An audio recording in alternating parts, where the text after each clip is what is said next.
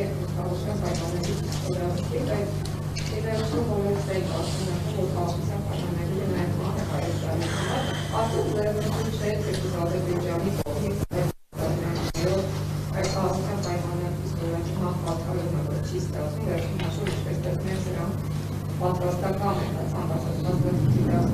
ուզում հիշեցնել Ադրբեջանի կողմից առաջարկած ինստիտուտները, որոնք դեպքում օրինակ գնահատության պայմանների շնորհավորման, որը Արարատ Գերբրանովը ասաց, որ մեզ համար է չկա, մինչև որը դեպք խոսեցի քրիստիանի եւ դրանքների մասին, կարծես թե նաև Հայաստանի համար ձեռնտու պայմաններ են, եմ ասել, որ սխալվում են, բայց մյուս կողմից էլ այլընտրանքը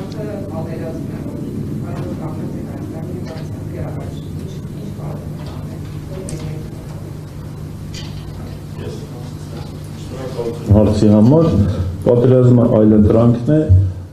երկու դեպքում էլ երկու այլընտրանքն են պատերազմում խաղության օրակարգ առաջ տանեք թե չտանեք քանի դեռ Հայաստանի Հանրապետության վարչապետի պաշտոնը զբաղեցնում է Նիկոլ Փաշինյանը Հայաստանի Հանրապետության բոլոր այլընտրանքները պատերազմն են կամ դրա նման ինչ-որ մի բան ինչ վերաբերում է խաղաղության համաձայնագրին ես ասացի, որ Ադրբեջանը պատրաստ չի խաղաղության համաձայնագրին։ Ադրբեջանը ձև է անում, որ պատրաստ է, բայց նա պատրաստ չի։ Մենք տարի ու կես Կազանի փաստաթուղթ են բանակցել, բանակցել, բանակցել, բանակցել, բանակցել ամենավերջին պահին գնում են Կազան եւ 12 հատ նոր առաջարկ է ներկայացնում Հիմա 5 առաջարկ է ներկայացնում, սրանք ասում են համաձայն ենք։ Հետո մի հատ էլ կավելացնեն, մի քիչ կլարվի իրավիճակը, կասեն դրան էլ ենք համաձայն։ Հետո այս կողմից կասեն Երևանը անվանափոխել դրեք Երևան։ Եվ այլն, եւ այլն, ինչ ենք անելու, ասել ենք դե լավ, եկեք անենք այլ ընտրանքը պատերազմն է։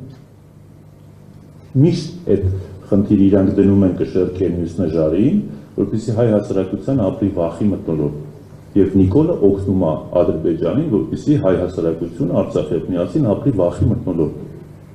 Վախեցած մարդը ոչ կարա նորմալ քաղաքական գործունեությամբ զբաղվել, ոչ կարող է նորմալ դիվանագիտություն անի, ոչ էլ կարող է նորմալ ինք իր ապագան բանան։ Մենք պետք է մեր հասարակության մեջից հանենք այս վախը։ Մենք պետք է հասարակության համար նոր նպատակա նպատակակետեր թիրախներ սահմանենք Դա հնարավոր է միայն այս իշխանությունների հերացնելուց հետո, որովհետև իրանց գործիքակազմն այնպես չի լինելու, որ մենք առավոտյան զարթնենք եւ ԿՊ-ի քաղաքականությունը այսպես կարդինալ փոխված լինի, ասենք այսի հրաշտղեք են, այսինչ ճիշտ քաղաքականություն են, չի լինելու այդպեսի բան։ Այդ հույսերը դատարկ հույսեր են, որ մի օր սրանք ի օգուտ Հայաստանի, որ անելու լինեին վաղուց արդեն արած կլինի։ Վաղուց արած կլինի եւ իրանց ձայներն են այդպես գոյանում։ Մուրճը խաղաղության օրակարգ հիշում ենք։ Իրանց ձայներն այդպես են գոյանում։ 18 թվին 0 ձայն հանրապետականին։ Էհա 0 ձայն։ Այս չի արդյունքը։ Էսա չէ արդյունքը։ Պատմությունը արդարացնելու է եւ Սերժ Սարգսյանին եւ հանրապետականը եւ բոլոր ազգային ուժերը։